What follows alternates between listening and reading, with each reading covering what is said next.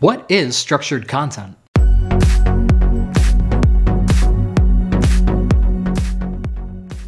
People often understand content as thoughts or ideas that are expressed in forms, such as words, documents, videos, or images.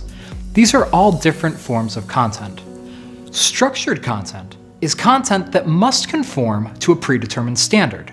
A predetermined standard makes your structured content intelligible for applications and systems. These systems can then use your content in endless ways. For technical writers, there's an important family of standards that are collectively known as XML. This stands for Extensible Markup Language. This brings up the question of why computers can't read our content. As humans have evolved, so has our communication. Our language and expressions are nuanced and complex. If you were to ask me how I was doing today, and I replied, I'm fine, you would know that I'm in a good mood. Now, if you asked me that same question and I responded, I'm fine, you would know that there was something else there and that you should tread carefully with future communications. Now, our language is flexible, but it's also meaningful. However, this means that human language is terrible for interfacing with computers. In written form, it's very difficult for computers to identify the purpose of one type of content compared to another. It's difficult for computers to discern what is a title, what is a concept topic, what is a numbered list or a series of steps. Now this is where XML becomes important.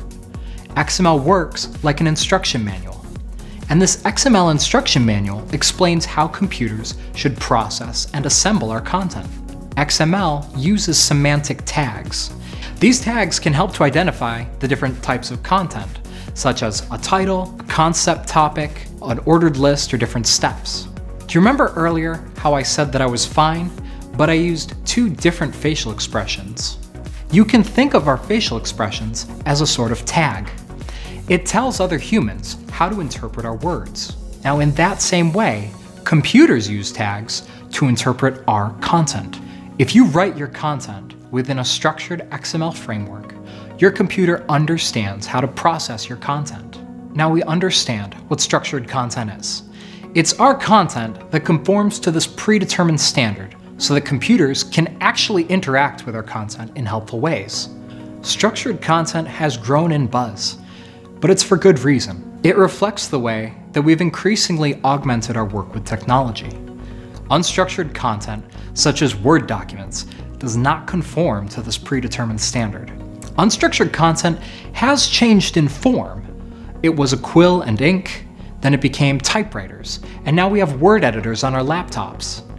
But it has not changed enough in terms of usefulness for modern business purposes. Unstructured content is still held back by those same limitations.